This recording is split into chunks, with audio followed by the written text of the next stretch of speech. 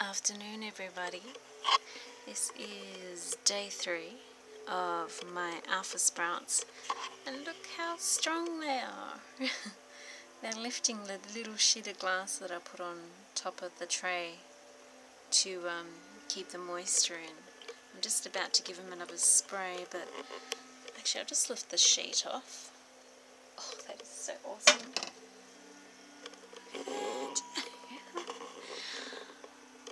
Such joy to grow your own things, isn't it?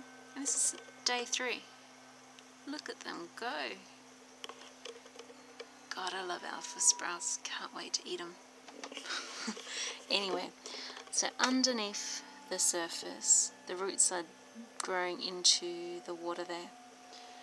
Uh, I'm going to give them another spray now. And this is what they are top side, what they look like. I'll give them another spray and then I I think I might this evening change the water underneath. You see little drain holes at the top, just going to gently pour out the water and add some fresh just to keep the algae down. But yeah, this is pretty awesome. Day three. Highly recommend doing your own sprouts so easy. And we are pretty dark grey and overcast and a bit on the cold at the moment.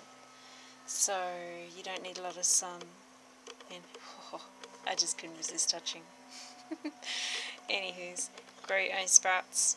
I'll um, add the links to the beginning setup and yeah I'll let you know when they grow a bit higher. So I reckon within four days it's going to be about here.